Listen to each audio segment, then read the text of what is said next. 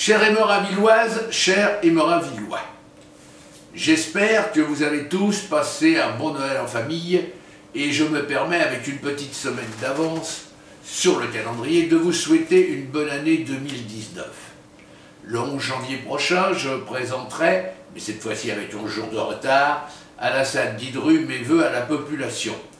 Je vous attends, venez nombreux. L'année 2018 a été très difficile pour notre pays, mais notre ville n'a pas été impactée gravement par les événements.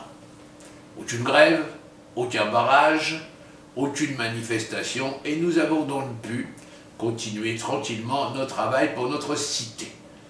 Notre ville est en plein essor, et nous devons dès à présent réfléchir sur la construction de structures nouvelles et sur l'extension et la création de nombreux services municipaux. Toutes ces questions et toutes nos solutions vous seront présentées au cours de la nouvelle année qui précédera 2020 et les prochaines élections municipales. Je vous présente encore une fois pour tous mes voeux de santé, de bonheur et de prospérité pour 2019.